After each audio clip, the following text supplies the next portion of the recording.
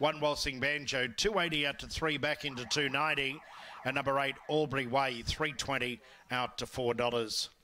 So the favourite five, Alpha Themis. Starting signal given. Seventh of 12 here today. Starting to cloud over a little bit. We heard a couple of claps of thunder about five, ten minutes ago, way in the distance. But uh, hopefully we'll get the meeting over before any major uh, storm activity hits.